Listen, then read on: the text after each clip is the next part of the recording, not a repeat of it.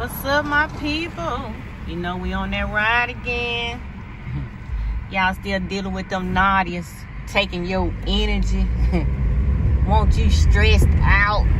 Just like the devil, always throwing stuff in your way to make you stress, to make you tired, to make you want to give up. I'm telling you, that's what the devil do.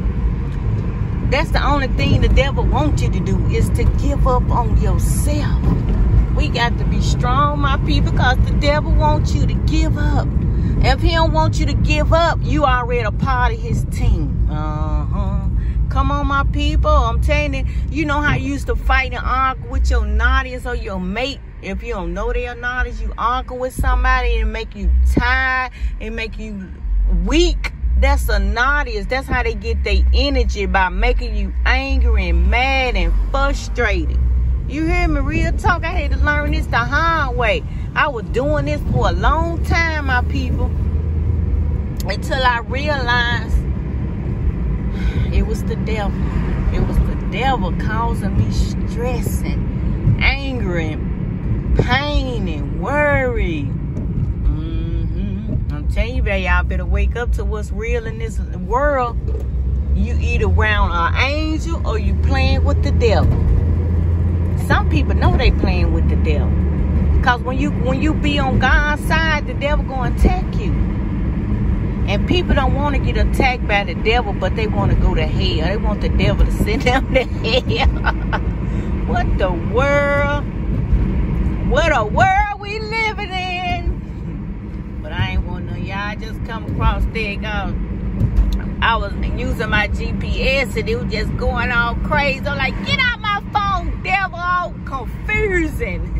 The devil is about confusing you. You hear me? The devil want to confuse you. That's how people want, you got toxic people in your life coming to your life. They want to confuse you. Mm, I bet y'all don't believe that shit though. I didn't believe it either. You got people coming in your life, they they they got drama. They always talking and whining and and arguing or talking about somebody. You know, your mouth is a weapon, my people. God don't want you talking about nobody, really. You know, we wasn't taught that and ain't nobody gonna tell you that. You see how we we used to talk about people so much? Mm-hmm. That's all I got to say on that soldier, but my people, we don't supposed to be out here talking down on people. If you can't lift them up, you shut your mouth up and, and move on with your life. If you ain't got nothing good to say, don't say nothing at all. And it's, you know, you that's why we seeing every day because we be, even if we ain't saying it out our mouth, but we thinking in our heads. You hear me? That's a God forgive me for my sins, my people. But I'm telling my people, and then when you got stress on you, you got your mate making you stress, you got a family making you stress, you got a child making you stress. That's what the devil want. We gotta stop giving the devil what he want and make these children sit down and make these men. If you don't get your weak butt out my face. Yeah, when them men attack you and beat on you, hitting on you, they are weak. If your woman doing that, she don't think too much of you. But I ain't want none y'all. I love y'all. Do say.